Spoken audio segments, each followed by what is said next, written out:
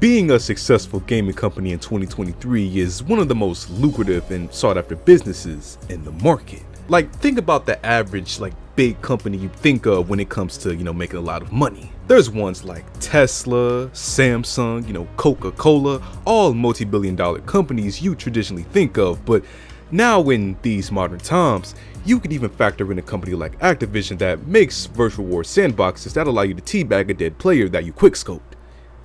Billions. And the reason that that's the way things are now are because of you.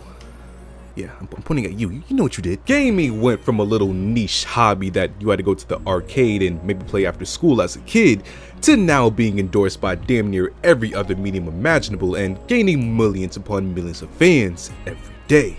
Hell, I make videos talking about this shit almost every day. It's not just about games anymore, it's a lifestyle. But that's how we view it, aka the consumer slash gamers.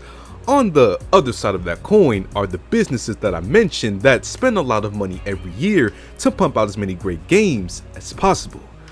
Well, I don't know about great, but you know, we definitely get a lot of games. But it's not just about them having studios that spend time making these games. You see, there's a whole boring ass business politics side of gaming that's put into it like acquisitions, you know, exclusivity deals, marketing, profit projections. If you think that their work ends with you speedrunning with a fictional hedgehog, you just be delusional. So with that whole aspect of business comes a whole aspect of risk that's common to see in this kind of field of work. Sometimes every gaming deal or projection doesn't work out and the consequences can lead to a loss of a studio or even worse, an entire company shutting down.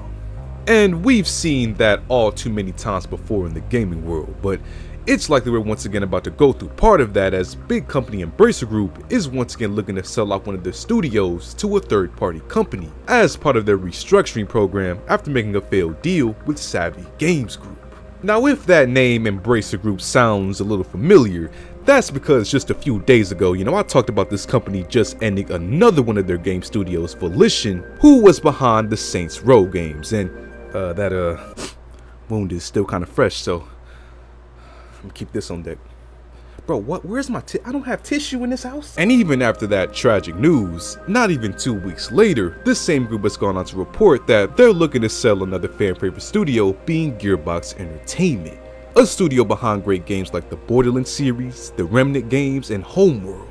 Now, I've personally never played Homeworld, but Remnant 2 just got released not even that long ago, and the gameplay looked dope, and as far as the Borderlands games, I played 2 and 3, and those were classics even though something about Claptrap always just annoyed me. I think I've said it before in the video. I, just don't know why.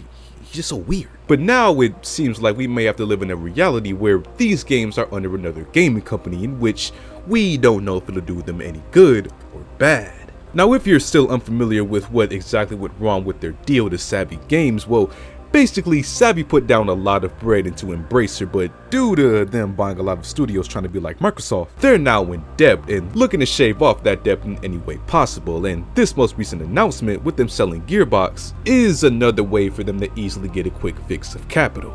Now again, this move isn't in any way, shape, or form confirmed, but seeing how they're in the multi-millions of debt and they just shit on my entire childhood by any Volition, it's pretty likely they'll sell off the dev team to the highest bidder. And honestly, man, you know, right now, I don't really feel, you know, either way on whether the studio should be sold or not because they didn't disclose which company was interested in buying it. Like, if it was Sony who wanted to buy them, then yeah, they might have a chance at reclaiming their peak fame since Sony actually gives a f about their games. But if it was a company like Ubisoft who's making bad decisions left and right, then, well, yeah, GG's. But it's just the factor of us not knowing much right now. So of course, we'll just have to wait and see what happens to this amazing team of, you know, developers. Hopefully everything works out and wherever Gearbox goes, they continue to make classic games.